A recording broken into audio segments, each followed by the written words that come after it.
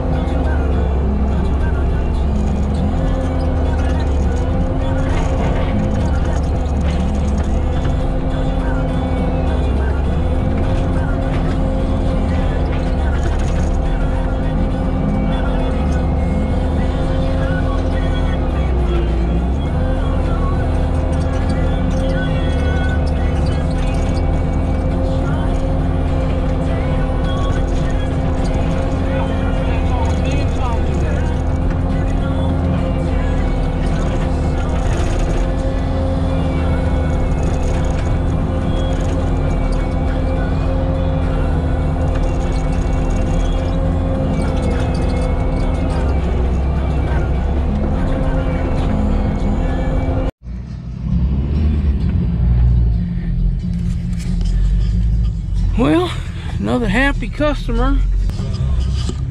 But uh, we got it done. So